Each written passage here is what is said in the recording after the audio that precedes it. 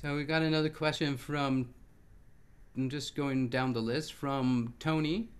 Thanks for your question, Tony. Often in rough vocal effects, we can hear and see on a spectrogram subharmonics which indicate a certain periodicity of of course there might still be random interharmonic noise and even in your examples we can hear clear intervals if we listen closely have you found any examples of ventricular or arytenoid effects where that is not the case so, so you mean when it's like completely chaotic is that what you is that what that means that's a good question let me see if we can ask Tony if he can clarify that.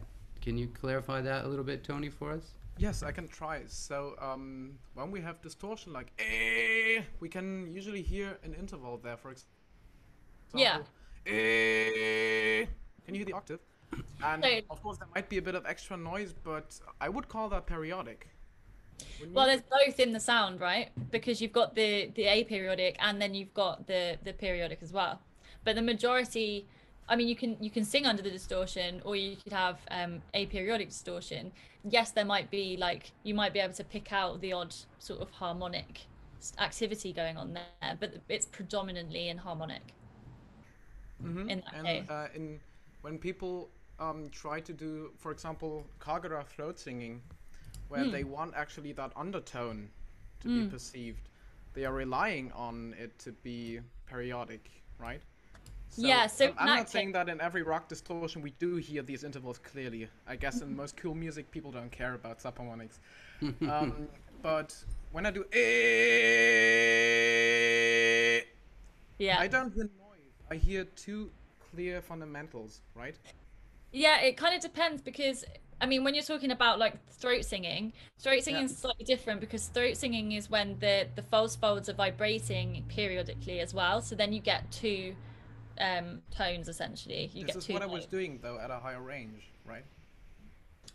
You mean what that was throat singing? Is that what you mean? It wasn't throat singing authentically, but this was ventricular yeah. folds coming together at half of the frequency, right?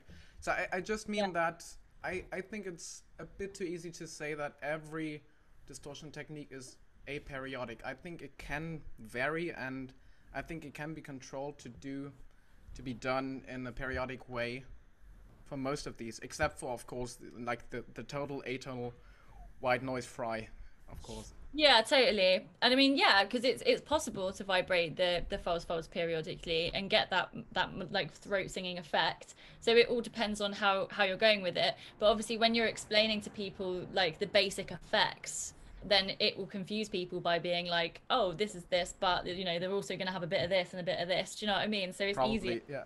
Yeah. Do you see what I mean? I do. I do confuse people a lot. But of course, there will be, yeah. But of course, there will be variations. Like, but that it's like that in any singing activity. You know, there's always going to be kind of variations on effects. Well, thanks, Tony. That that was a great demonstration. Nice demonstration, and and thanks for bringing that up.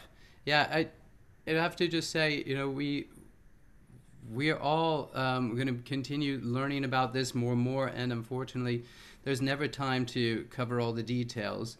Um, but what I would like to do for all of you rockers out there is I would like, and I'm, this is going to happen, down the road, we're going to have some really uh, more advanced level informational live streams and courses where we can get into the nitty nitty gritty.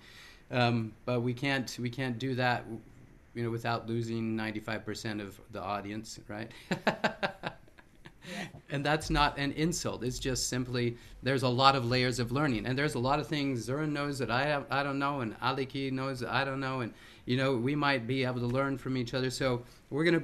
That's the mission of of this live stream is just to continue to share knowledge, so we all can can grow together.